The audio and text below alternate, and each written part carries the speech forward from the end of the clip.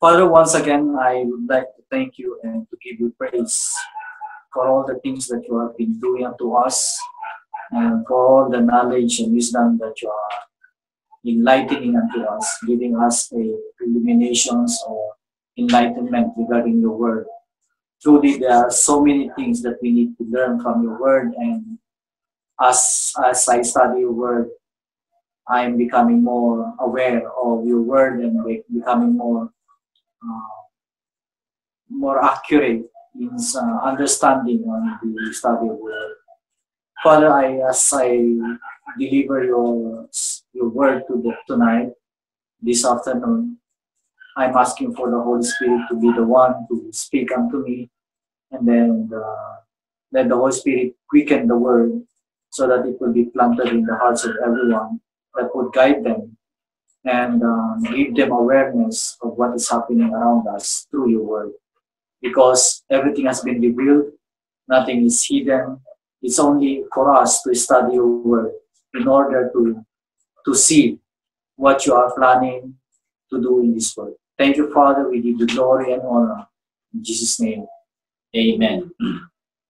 Okay, so once again, good evening, everyone. And uh, actually, I'm so excited to to continue on the seven seals. Uh, we discussed last last week regarding the four horsemen. Let's have a uh, very short uh, study on the four horsemen. So we study about the white horse with a bow given with a crown. So that is the common thing. And then uh, he is given to conquer, to conquering and to conquer. So white, explain that white. Horse means word power, faster mobility, speaks about strength. And then bow can speak also with weapon of war, for hunting and for a lying tongue means for deception okay the bow okay and then crown it's a mark of a royal red a garland and i show you the sample okay that that is the crown that is mentioned in these revelations not this one the diadem that was wear, worn by our lord jesus christ. And then i give you some examples of the crown. And then conquering to conquer, both Greek word, okay? So in seven churches, these are all mentioned, the Greek word, the same thing, and one means unity and solidar solidarity means uh, there is uh, when they are when, you are in unity then therefore you are in peace. There is a peace during that time okay? Because white means surrender. So once you surrender then there is peace okay? So I explained to you regarding Constantine, a Roman emperor who, who is a sun worshipper. And then uh, when he saw the vision, okay, when he saw the vision, and then uh, by design sign you conquers. So he used that vision in order to to lead and conquer Maxentius. And then by uh, 313 AD, he declared that uh, he legalized Christianity in the entire land.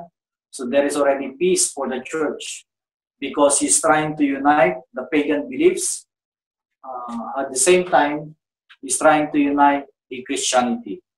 So that is also a political motivation. Okay. And then, so he declared Sunday as a rest day. Okay, and remember Sunday is for the pagan sun. Now, um, regarding this Sunday, this has been a question. So, are, am I trying to say that uh, we should not worship on Sunday and we should go and worship on Saturday? First thing and foremost, I would like to tell you that uh, God made the heavens and the earth, and then He made everything for six days. On on the seventh day, He rested. Now, for the Sabbath, that is a sign for the sign and covenant for the Jewish person. Remember when we discussed in Acts chapter 15, they are asking, uh, they are they are having arguments if they are going to impose Saturday uh, Sabbath rest to the Gentiles. But we did not see that.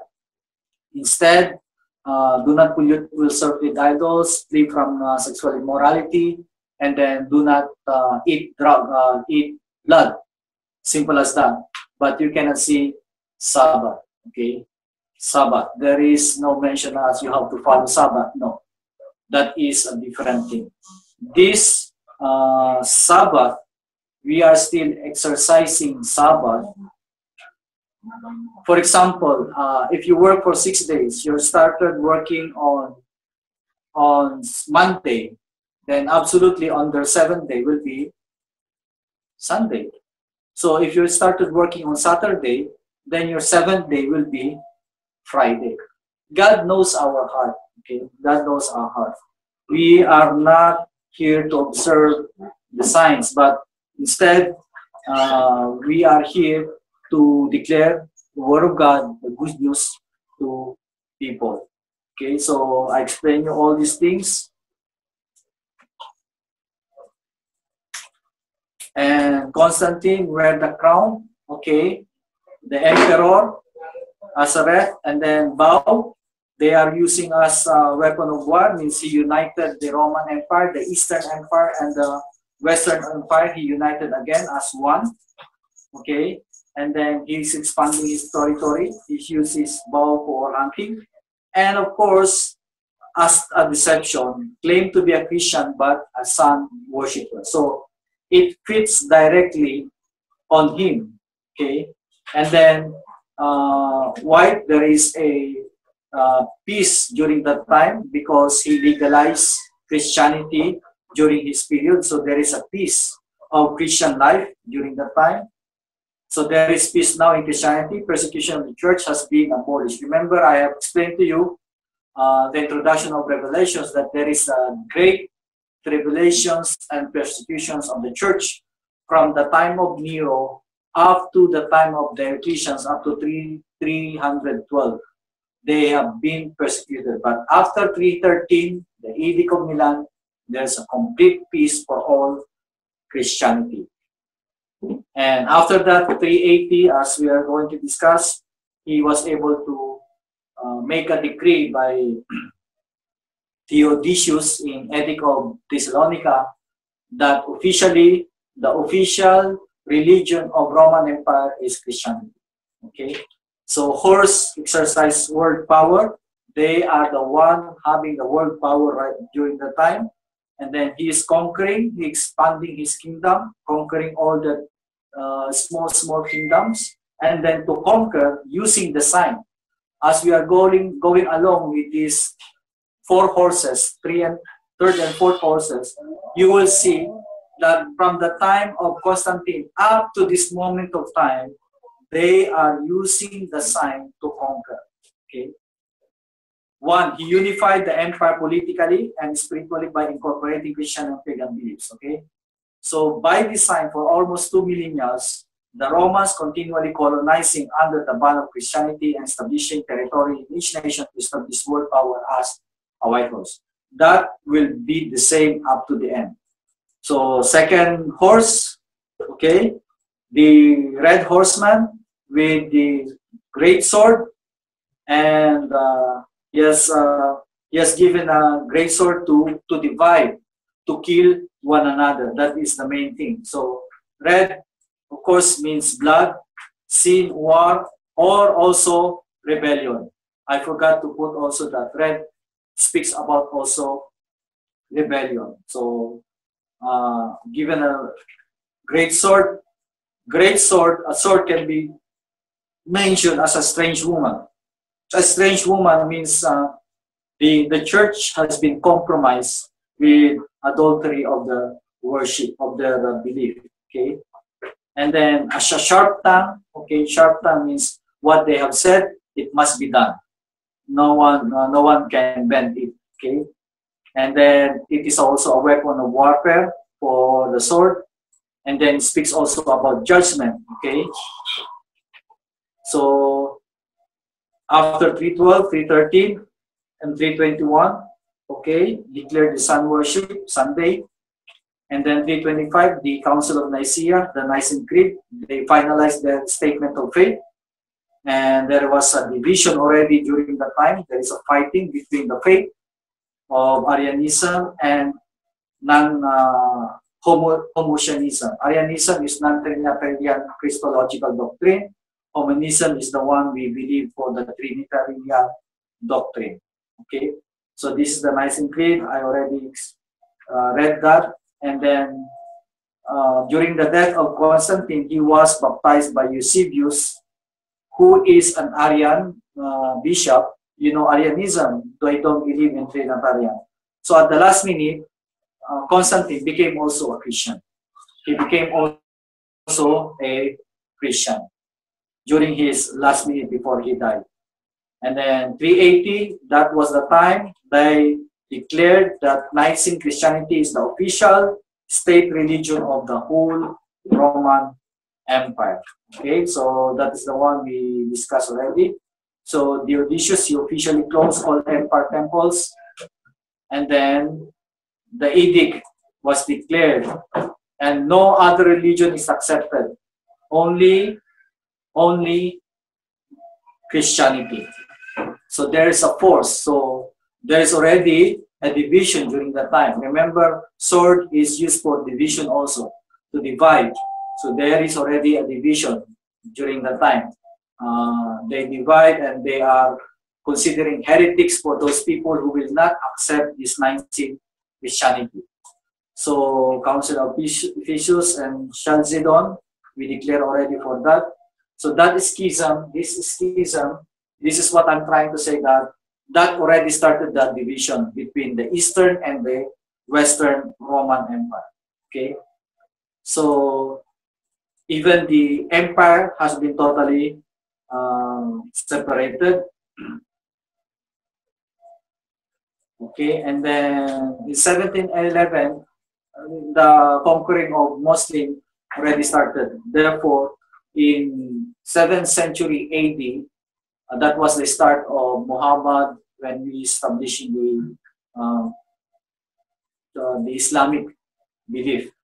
Okay, and then Charlemagne united again the Roman Empire, the Western, not the Byzantine, the Eastern, and he became the father of Europe. Okay, so uh, and but the Eastern, they already Christianizing the Russian, okay, the Russian during 945 AD. Okay, so the Great Schism started in 1054, that there's a totally separation between the Eastern Empire and the Western Empire. You can search the history that there is a great schism between the Roman Empire. So there is a total division. So first they are one, now they are two because we are now on the second red, uh, the second, the red horse. Uh, the second horse, which is the red horse. And second means dual they are divided. Okay, that's why everything is coming directly in my eye. In my eye, you can, when you understand the history, the church history, you can clearly see every single detail.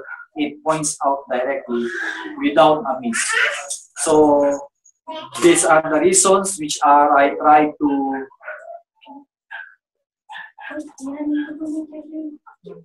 these are the reasons which I try to uh, they try to divide because of the different beliefs.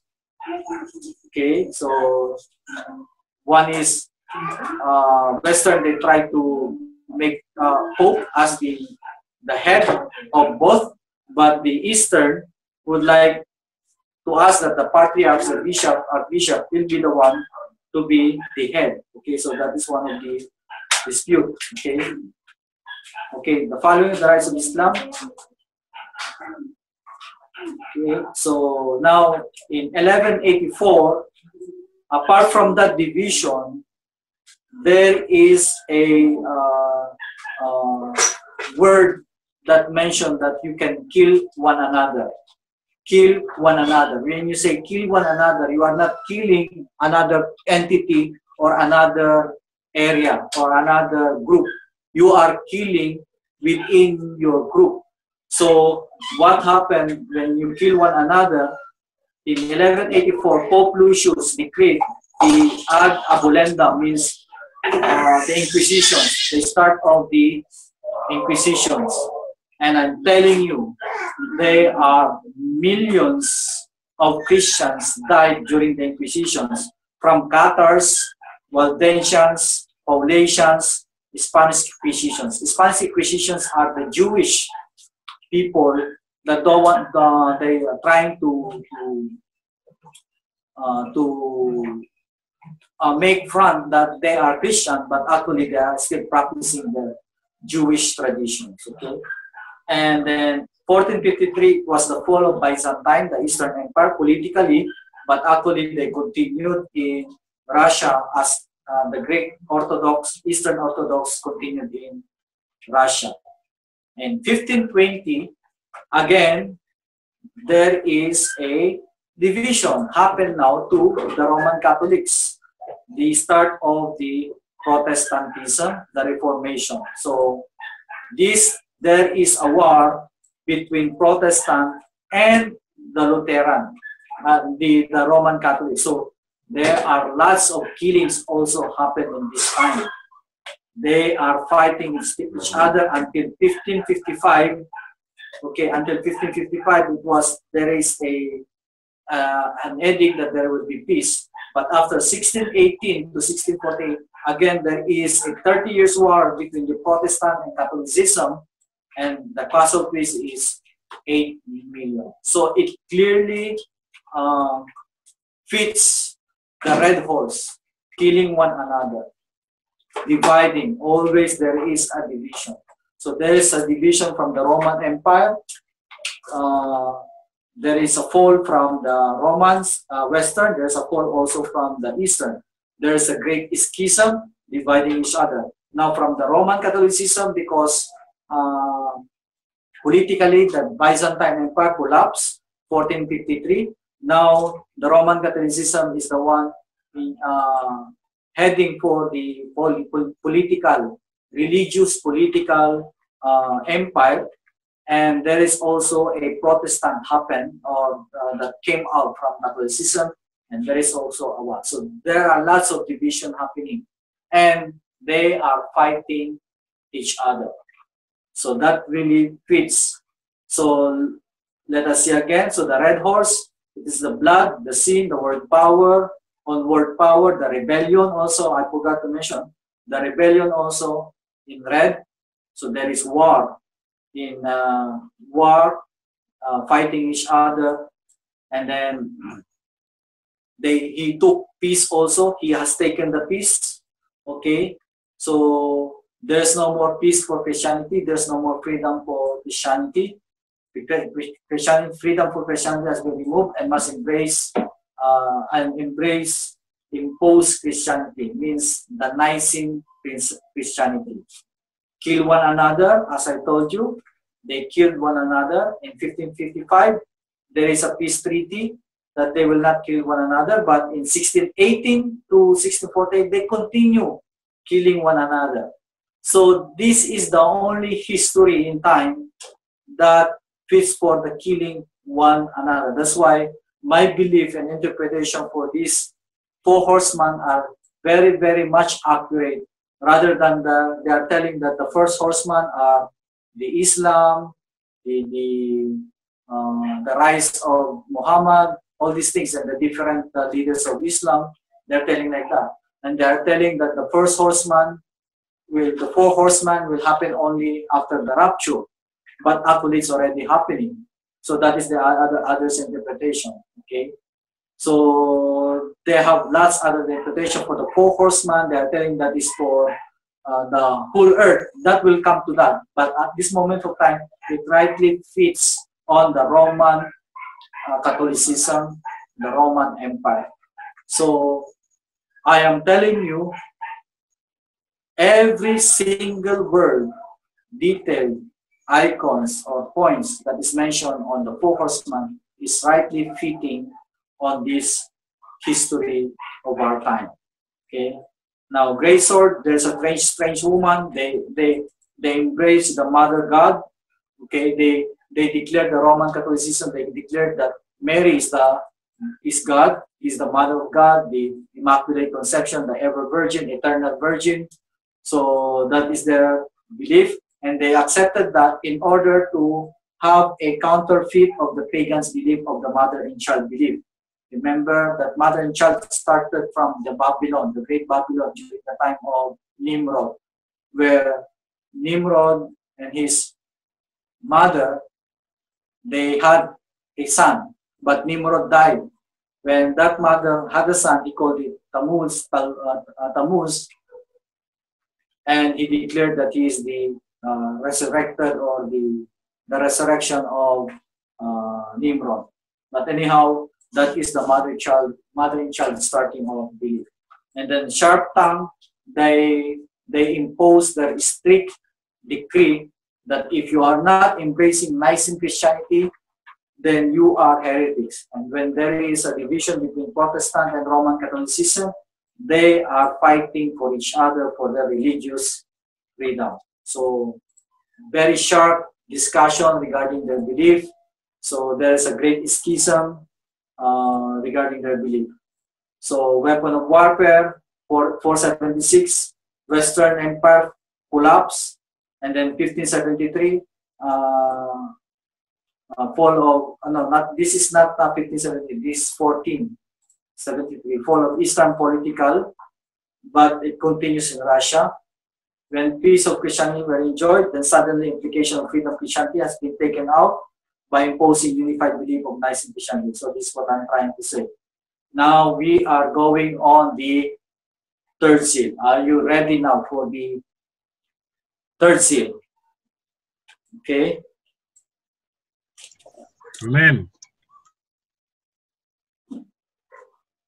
So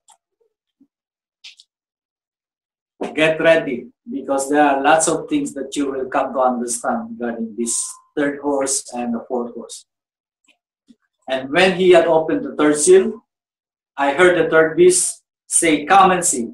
And I beheld, lo, a black horse, and he that sat on him had a pair of balance. It was not given to him, it was already in his hand.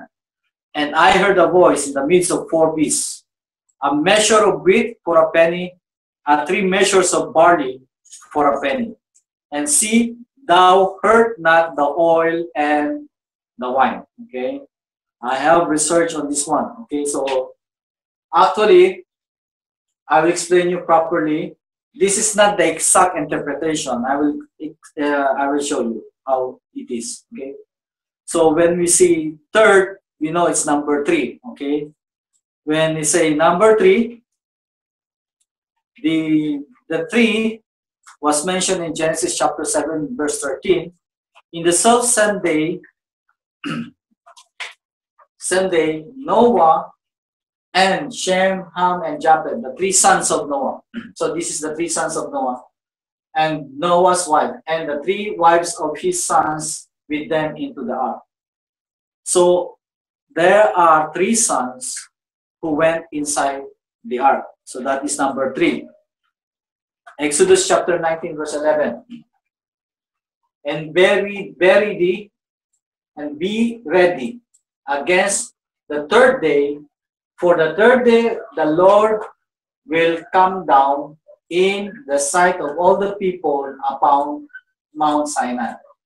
In Exodus chapter 19, verse 11, this third day, what happened on the third day?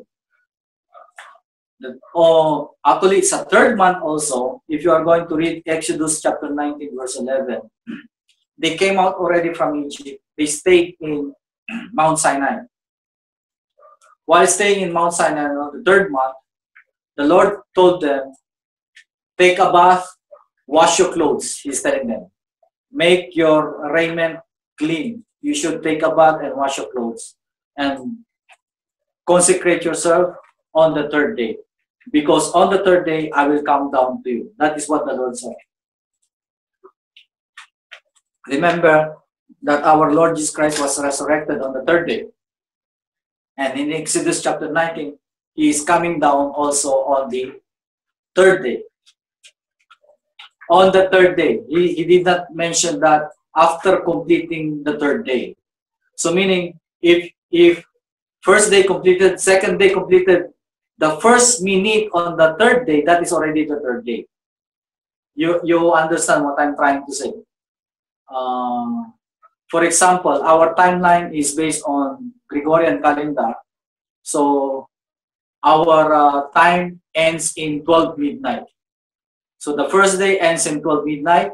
The second day ends in 12 midnight. But the second day, once it reached 12.01 a.m., that is already the third day, right? That is already the third day, okay? So what I'm trying to say that you will understand. In Luke chapter 4, verse 25, there is a famine in three years and six months. Why I'm including three years and six months? Because if you are going to divide six into two, that would be three also, double three. So three, three, three. And during those three years, there's a great famine.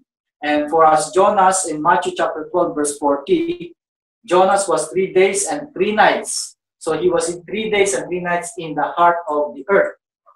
So uh, in the whale's belly, so, so shall the Son of Man be three days and three nights in the heart of earth. So uh, during these three days and three nights, it was a tremendous suffering for Jonas because he was in the well of the belly, and for our Lord because he was in hell. Because of that is the penalty of sin.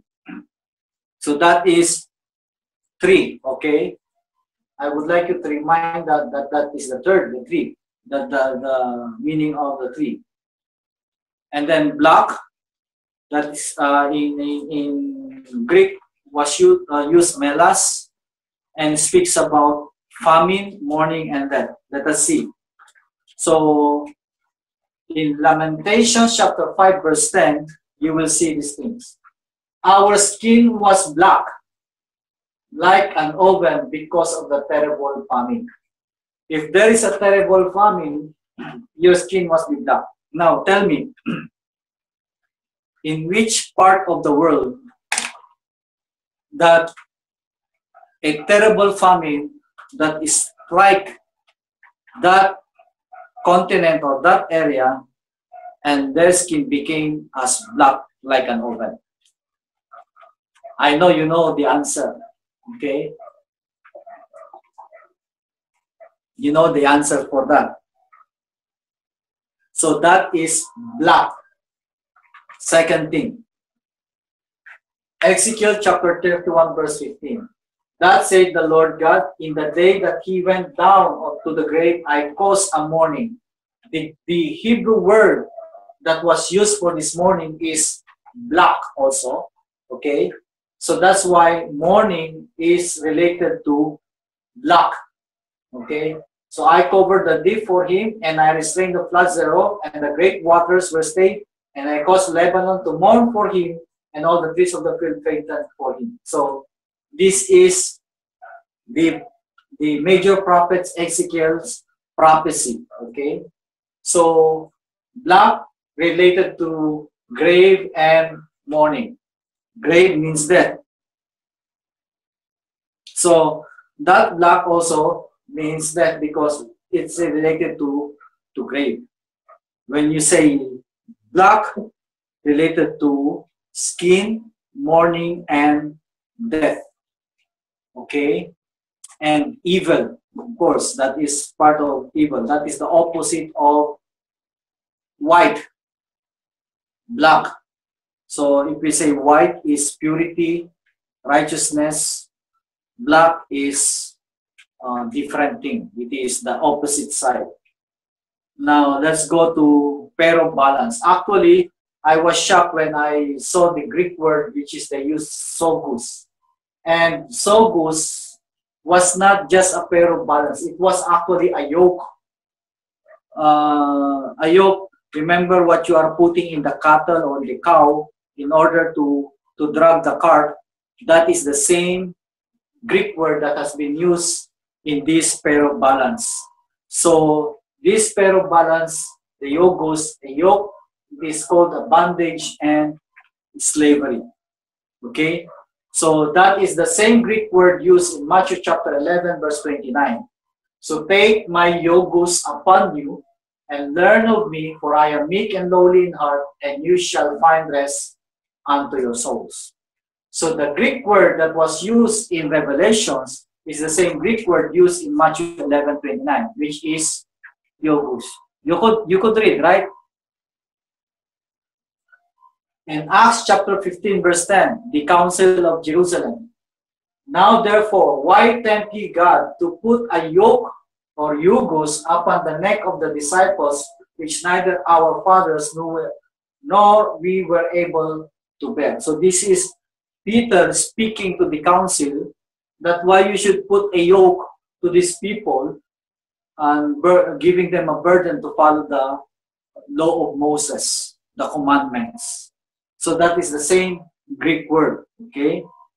And in Genesis chapter 27, verse 40, and by thy sword shalt thou live. This is, uh, he is speaking to uh, Esau when uh, Isaac is giving the blessing to Esau, uh, but the, the first blessing was given already to Jacob.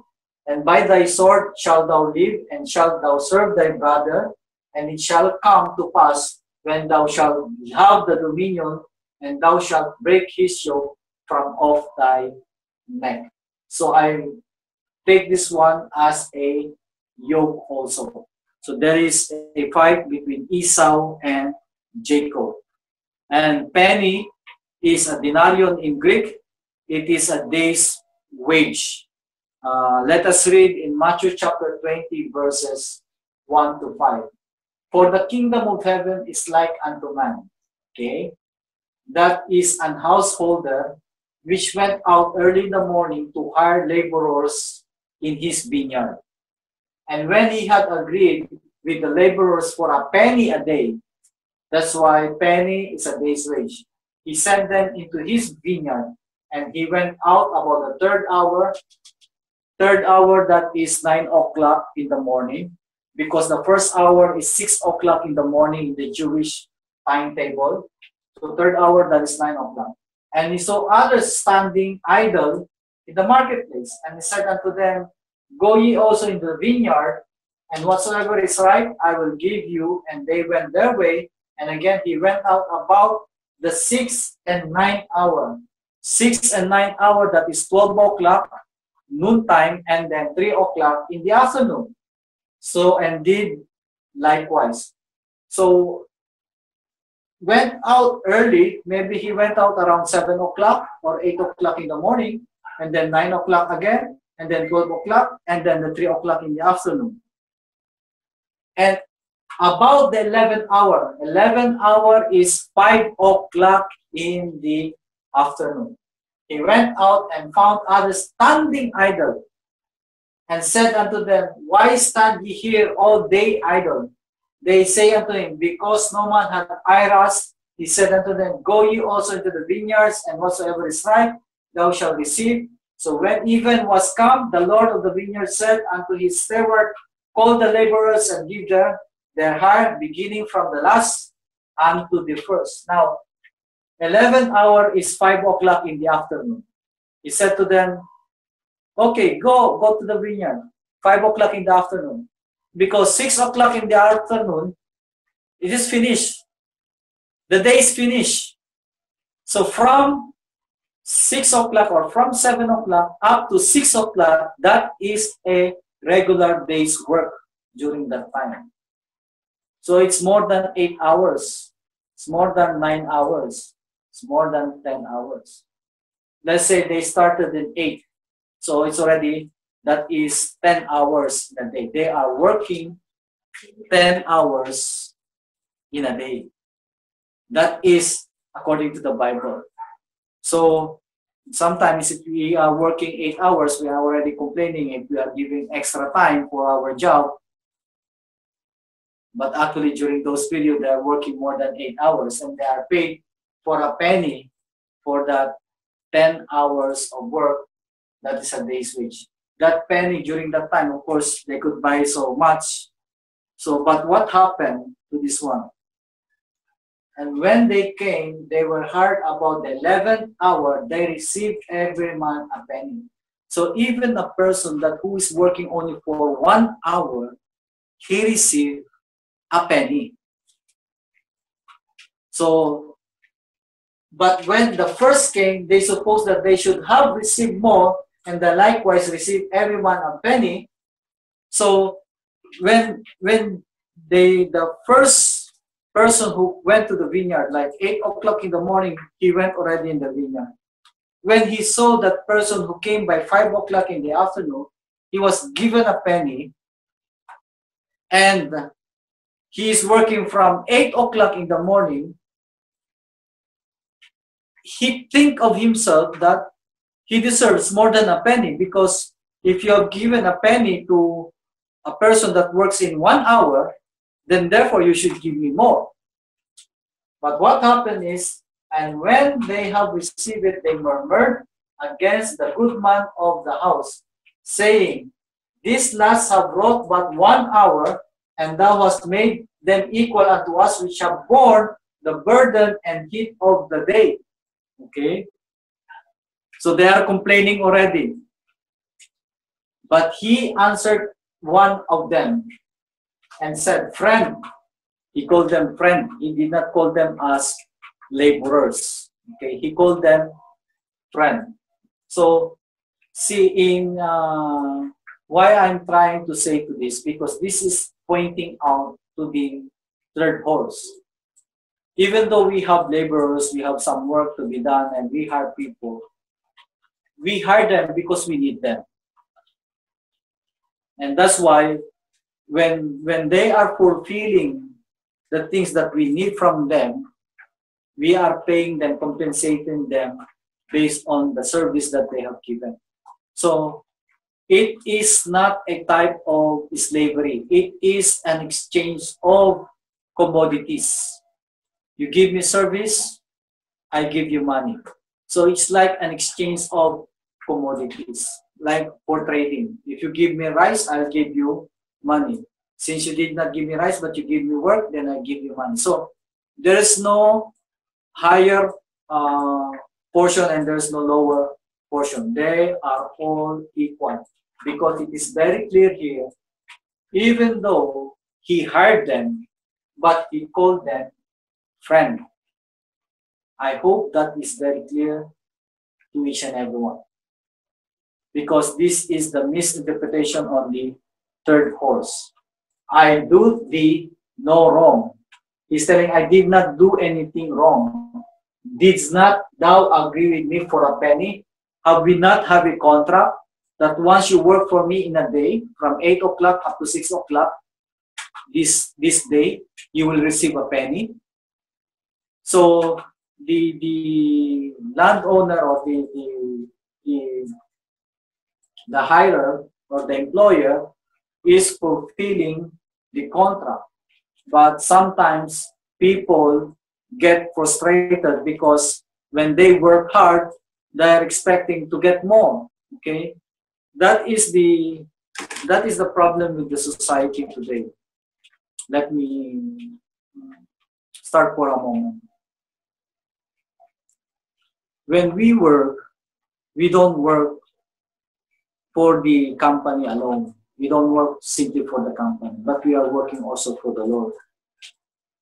So when we did something extra, or we when we do something uh, extra effort for the company,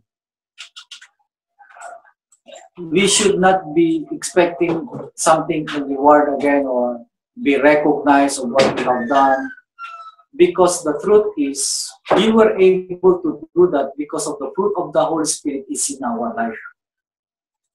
Our Lord is trying to teach those employees that uh, working is a gift from God. That uh, whatever extra work that we have done for our company, do not expect something in return. Let God be the one to give you in return. Let God allow uh, to reward you for all these things. And people are getting uh, frustrated because after they are working hard, working um, with, with, with, with their full effort for the company because they're expecting something. Okay, that should not be so. If you work, work for the Lord as if you are really working for the Lord. And then, is it not uh, okay for a penny? Take that thine is and go thy way. I will give unto this last even as unto thee. Okay, he's telling, it is my right. He's telling, it's not lawful for me to do what I will with mine own. Is thine eye evil because I am good. So that is what I'm trying to say. That uh, it is his right to do whatever he would like, as long as he obeyed and followed the contract or the agreement that, that was being made. Now, see these things. So the last shall be first, and the first, the last. Remember, I told you already this one in the throne room in heaven in Revelation chapter 3 and um, chapter 4 and 5 that the, the sapphire stone and the sardus stone, the first and the last, the last and the first. I have told you when he's telling these things, the first one that has been called to do the job for the kingdom of God was Israel. And they are doing their jobs. Okay? And then the church has been called also to do the job. But everyone who did their job, they have been rewarded the same. And they are complaining, Israel is complaining, I am doing the, the law of Moses. I am following the commandments. I am doing it, following it with all my heart. But why this person, the Gentile, he is a pig eater, pork eater, he is eating a wild beast, he is not following the Sabbath, he is not circumcised, but still he is being saved. That is telling that the first shall be the last and the last will be first. And not only that, the first one that will be rewarded are the gent uh, the churches, and the last one will be the Israel. That's why for many be called, but few chosen. Now he's telling not hurt not oil and wine. Do not hurt the oil and wine. So why this uh, black horse is telling not to hurt the oil and wine.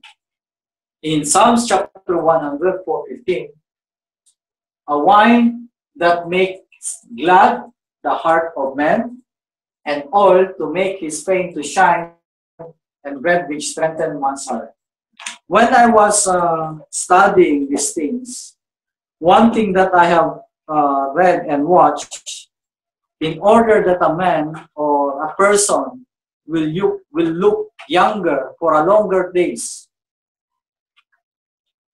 he must keep oil in his body. The reason why the person is getting old age, because the, the cell was not able to produce more, produce more oil in the body. Remember when you are young, you always produce much oil in your body too much oil in your body. That's why you have this younger uh, strength or the younger uh, looks.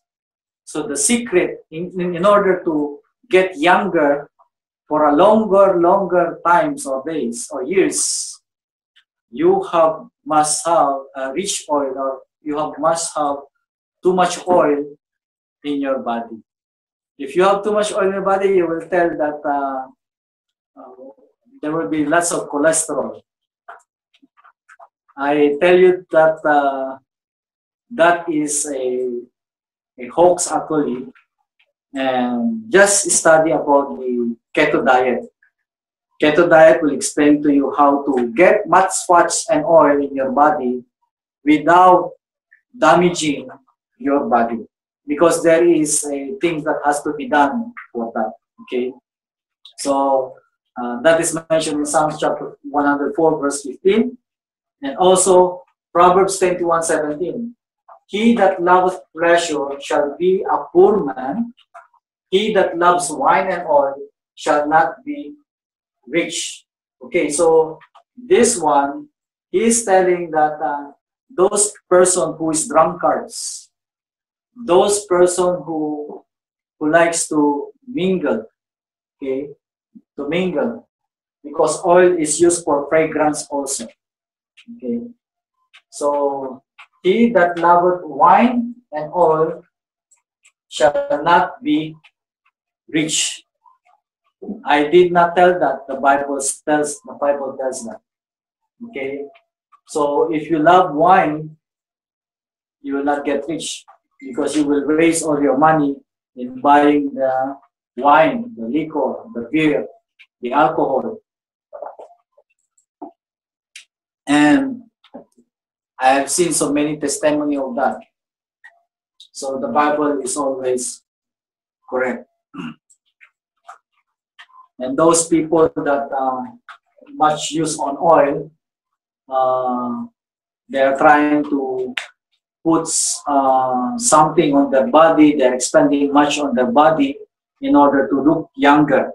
That's why their money spent to that. Exodus chapter 29 verse 40.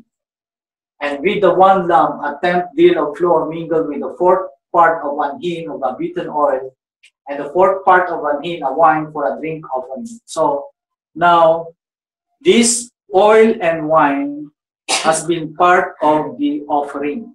Okay, now we are getting to the answer to the question why hurt not the oil and the wine. In Numbers chapter 18, verse 12, all the best of the oil and all the best of the wine, of the wheat and of the wheat, the first fruits of them which they shall offer unto the Lord, then have I given thee.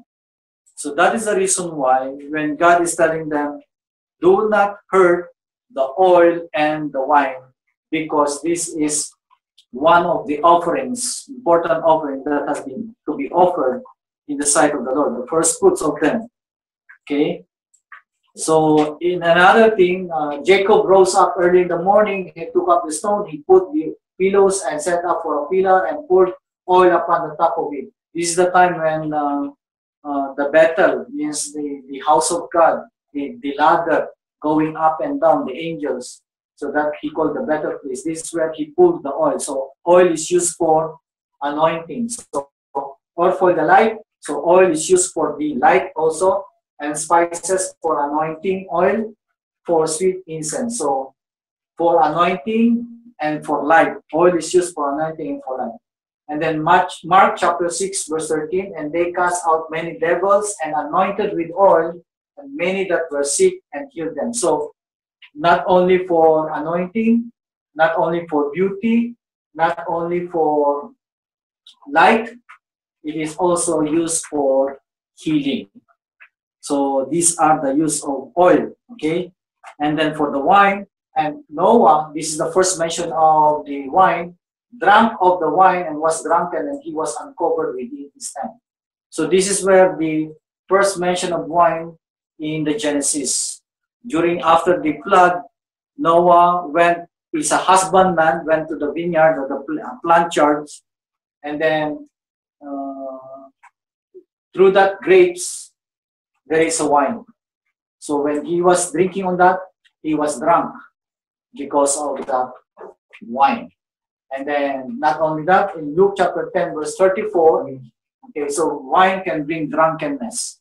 And went to him and bound up his wounds, pouring in oil and wine. So wine is also used for healing also.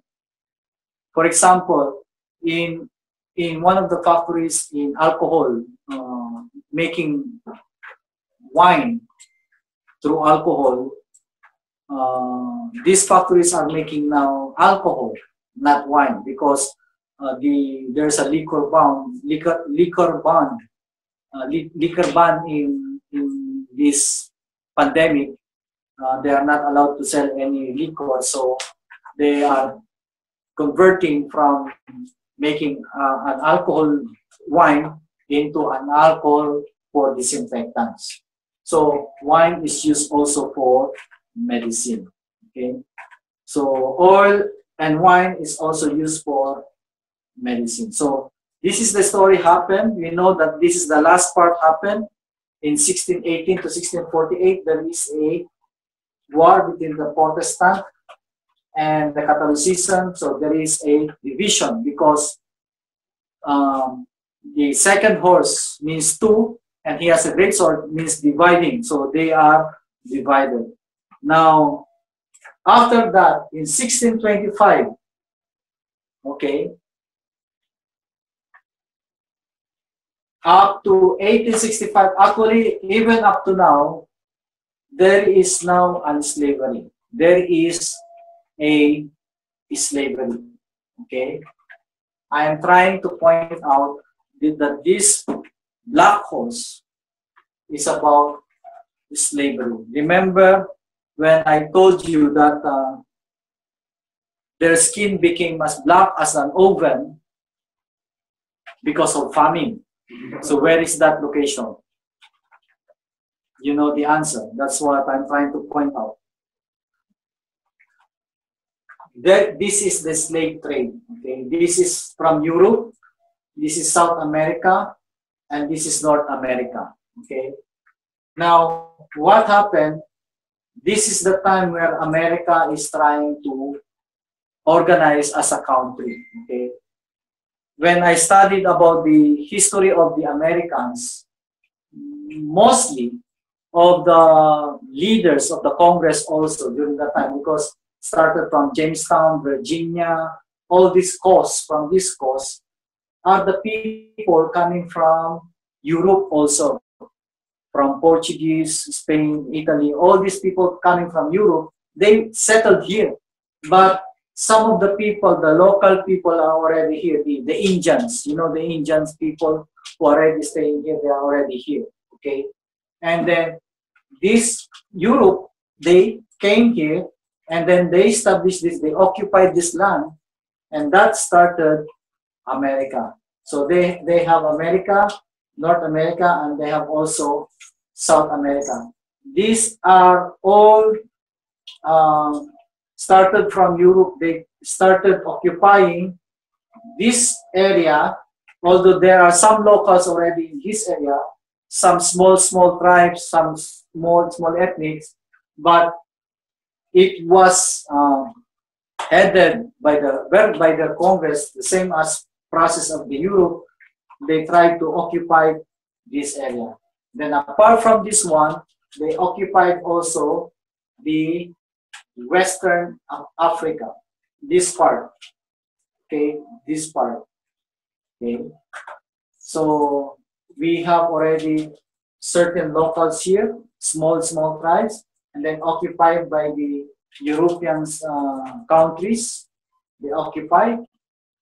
When they are occupying this area, they are also bringing Christianity in this area. That's why America the most dominant uh, religion in America is Protestantism. So they have, uh, even in this area, we have here Brazil, Salvador. So here, mix of Protestantism and Catholicism because they have been uh, colonized by the Europe. Okay, and the same time in Africa, the slave trade started from this area what they are doing is they're bringing some um, some items to this area and then they are bringing slaves to this area and then to this area and then going back again to Europe. So they are trading tobacco, coffee, cotton, sugar, mining, and rice. So from here, this area, they need laborers because they need to uh, to do tobacco, coffee, cotton, sugar, mining and rice. There's a plantation happening in the area and they need people to work on this area. Now, during that time, the Portuguese and Spaniards went to this area. Remember that is 1650. In 16th century, in 1500s to 1600s, that's the time the, the Europe or the Romans started colonizing all parts of the world. The Philippines was discovered by Magellan in 1521. 1521 when when Philippines was discovered by Magellan. So in other parts of the world also, they are doing the same thing. Okay? So there is a slave trade happening on this area.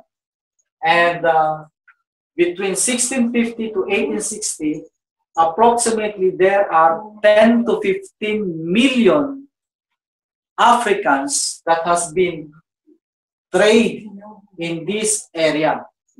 And that's the reason why there is what we call the Black Americans.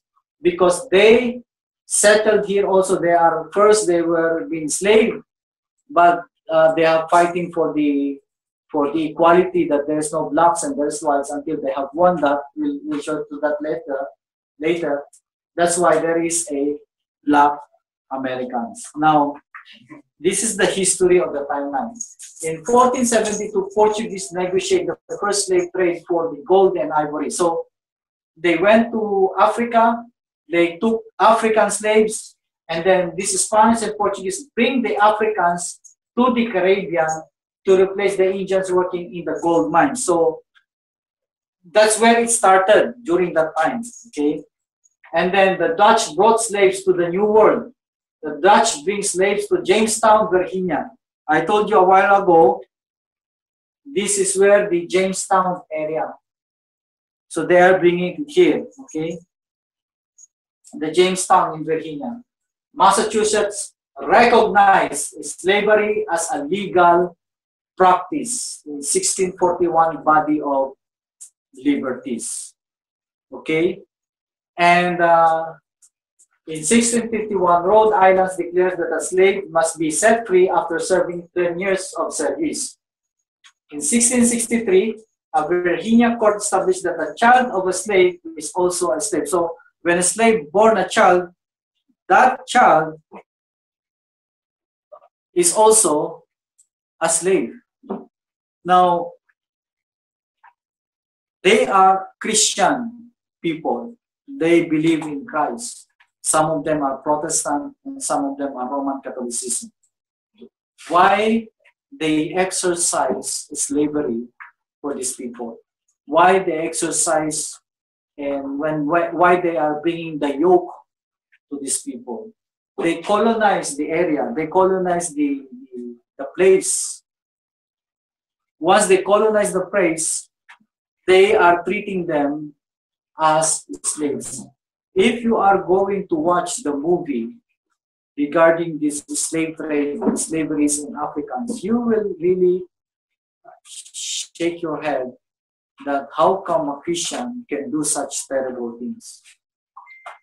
As I mentioned ago, when Jesus, when, when the laborers hired uh, when the employer hired the laborers, and then when they are coming to pay their dues, he called them friend, not as a slave. But these people who claims to be Christians, who claim that they, they know Christ, they believe that they are Christians, but they are treating these peoples as slave lower to their class. So they are treating them lower than their class, than the, the, the their own class, their type. Okay. Uh, I will skip on these things. Okay.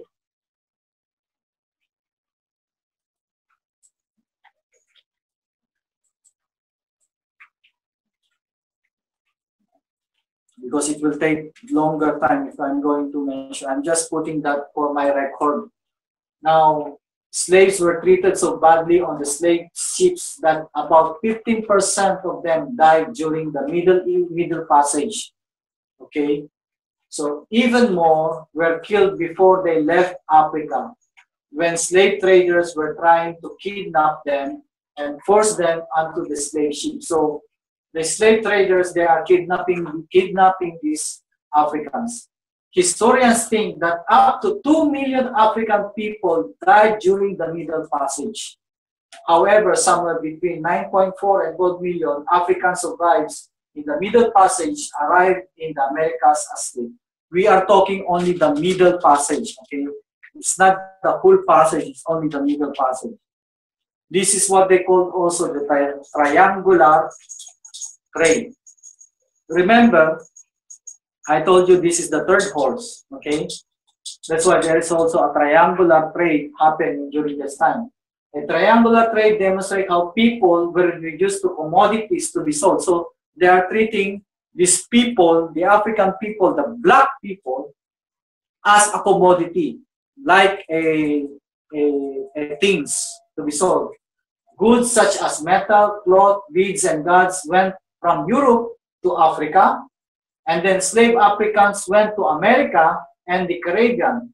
And raw products such as sugar, tobacco, and cotton came back to Europe. So that's how it's all uh, running. That's why it's called triangular. Shipfuls of gold, silver, and sugar cane made regular trips to Spain and Portugal. So this is the triangular trade. Okay, the slave trade.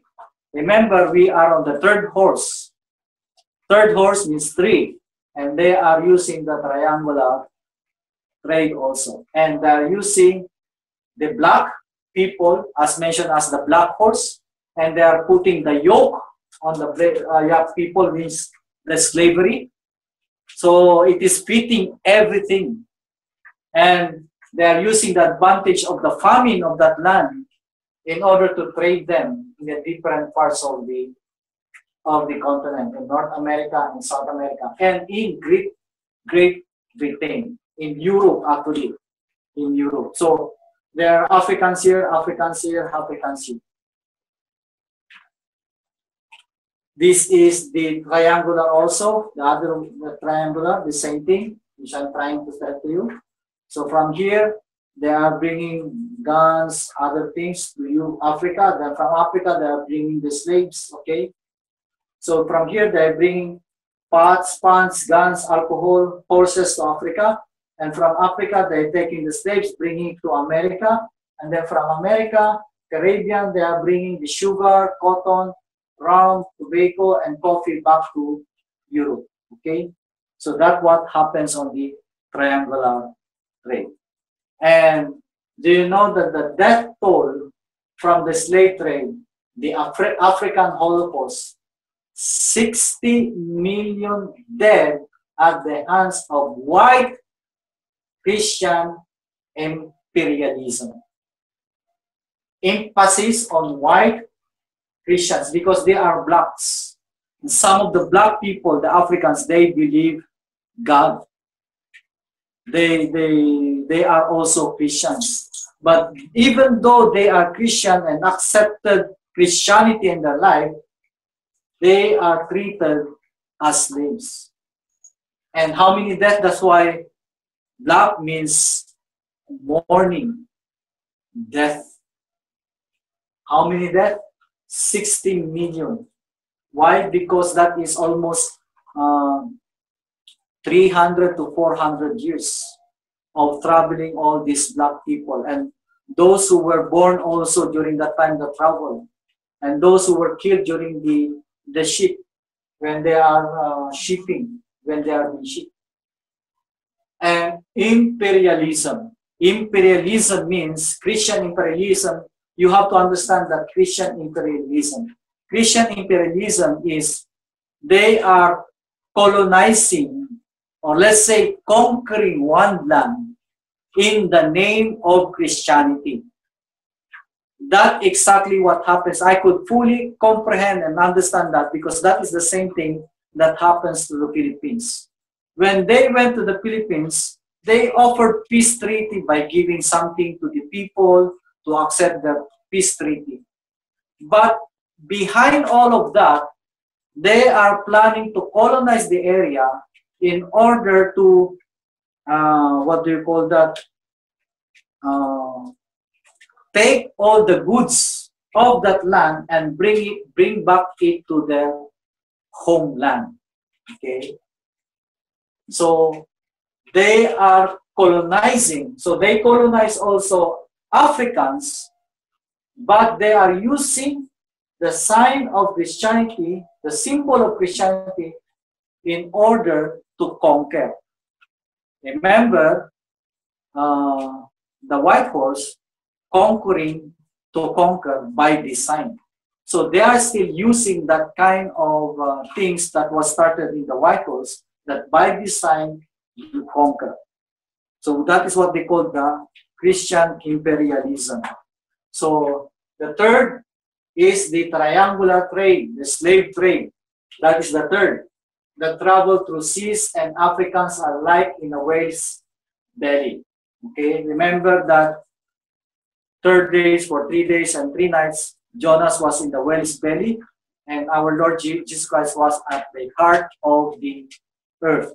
So that happens also in, in triangular trade. And also third is the world mission started by three factions. Who started? The Roman Catholics. They started colonizing.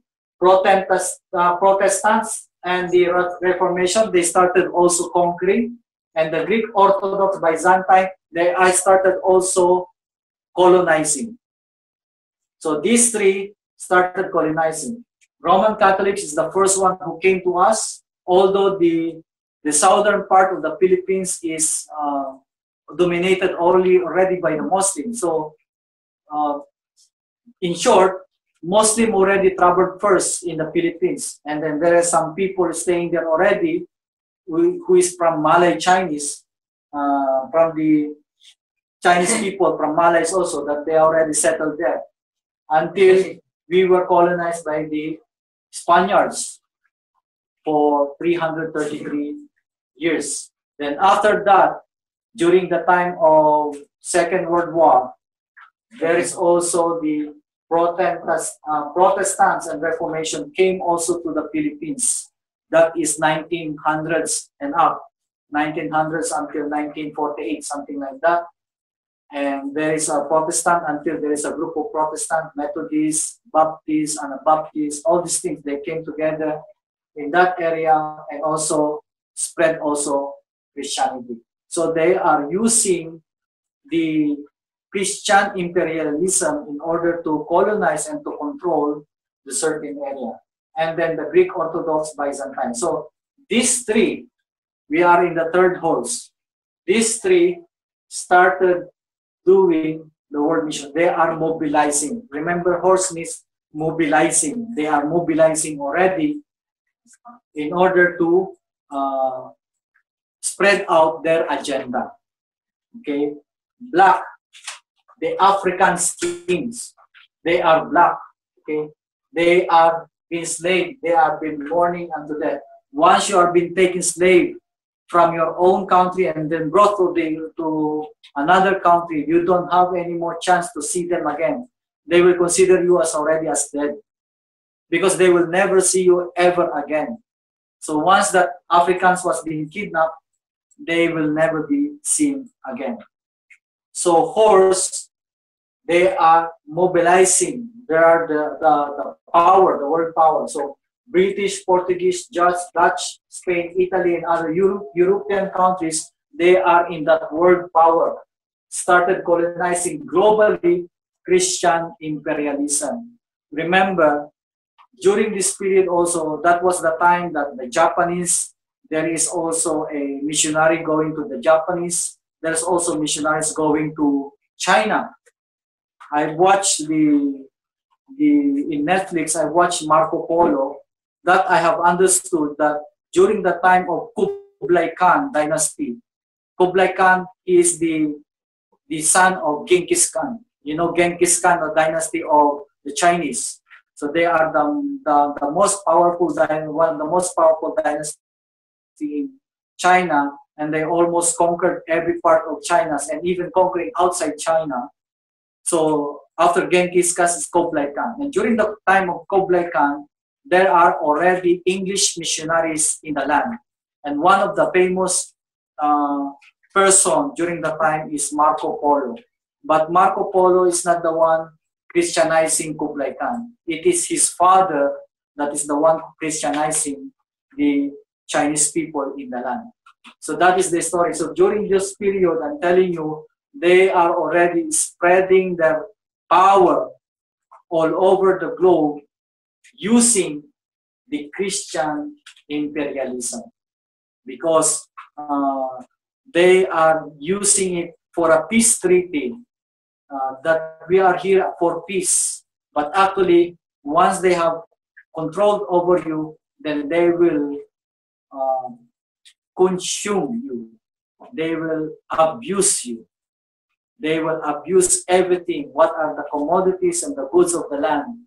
They will take it and then bring back to their owner. That is what is happening. That is the world power during that time. And the pair of balance yoke means slavery.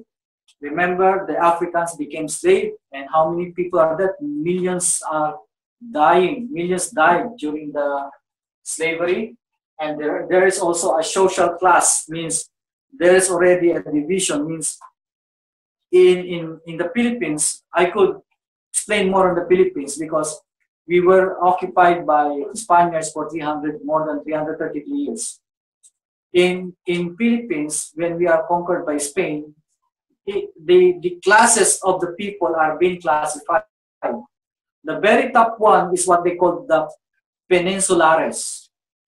The peninsulares, the peninsulares are the people who are born in Spain that went to Philippines. Then after that is the insulares. The insulares are the Spaniards or the Spaniards people that was born in the Philippines, pure-blooded Spaniards that was born in the Philippines. Then after that, insulares, they're called, their uh, next class is the mestizo. Mestizo is the mix of Spaniards and Filipinos. Then after that is the ilustrados. Ilustrados are those native Filipinos that have training, learning, studied from different parts of the world that becomes a capitalist. And then the last class, the last class is the Indio. For them is the Indio. And they consider them as the lowest class of race in the Filipino, in the Philippine settings. So they are classifying. Now in Africans, it's only it's only lord and slave. I, I cannot uh, research much. I don't have much more time. But as for my side, it is only uh, the Lord and the slave because they have been, once you have been captured, you are already a commodity of your lords. You don't have any rights for your own anymore. So watch about the story about the grace. There's a story about the grace, about the blacks, how they were able to survive this slavery in Americans. I'm telling you, you will cry on how they were being treated by this white Christian imperialism. You, you, you could see how they are using Christianity in order to take advantage of the slavery. Now they are telling why, what gives them license to do that? Because they are using the Bible, the, the Bible verse that they are the curse of Ham. You know that there's a curse of Ham. They are the curse of Ham, and they will be a slave to their brother Japheth and Shem. That was mentioned in Genesis chapter 9, if, I, if I'm not mistaken. The curse of Ham. So they are telling that these people are the curse of Ham, so they are being punished to be as slaves because of that curse that was given to, to Ham. That is the justification. But in the sight of the Lord, there is no free, there is no bond they are all equal in the sight of the Lord. I'm just telling you this story or these uh, teachings because it relates to the third horse. And a penny for wages during slavery, measure of wheat for a single person. So once you are in slavery, actually they are giving you only food to eat. If you are one person, then they will give you one food for one person. Now, for three measures of barley for that is for a family. So if you are a family, they will give you only food for family. So sometimes they will eat once a day. Sometimes they will just eat small amount of food within a day. That is the payment for their labors. Sometimes they don't have any clothes. Just watch any movies regarding about slavery. You can see, you can understand what I'm trying to say because I have watched some of them. Okay? Now, hurt not the oil and the wine. Okay? This is true. Okay? Now, this is the price oil in 1980 to 2010 price chart, okay? So it is a very, very long list. It started in January 1980. The, the cost of oil, okay, per metric